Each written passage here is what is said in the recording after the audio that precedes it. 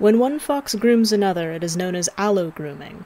Here, Limos is allo grooming his mate Big Eyes. He's finding, removing, and eating all manner of fleas, ticks, and vermin from her fur. Allo grooming is significant not only for hygiene, but also to reinforce social bonds.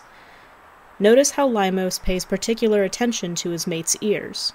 Vermin tend to coat the ears, which can impair hearing, thus putting them at a disadvantage while hunting, for they rely on their hearing by as much as 65%.